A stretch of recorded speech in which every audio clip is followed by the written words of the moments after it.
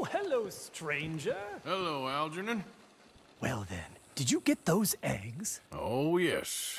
You're a wonderful fellow, Tacitus. A man of uh, rare distinction. Herculean labors performed almost effortlessly in the pursuit of art. Oh, the Contessa, well, she's a terrible hag, but she'll be happy. I hope so.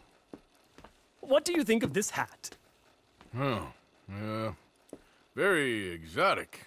I made it for you. For me? Ah, no. Uh, I'm just, uh, it's, it would be wasted on me, Algernon.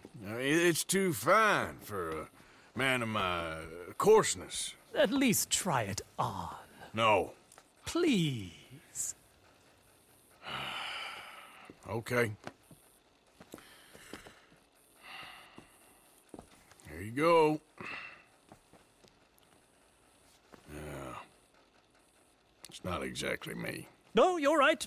It's all wrong. I went forte, and I should have gone molto adagio.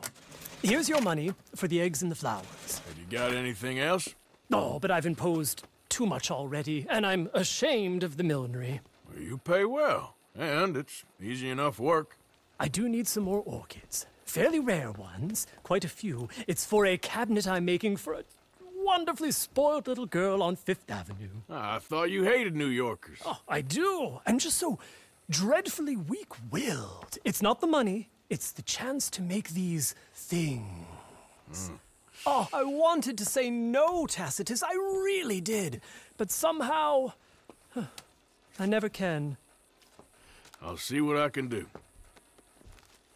Oh, and uh, Tacitus, I'll make you something. Honestly, I'm fine.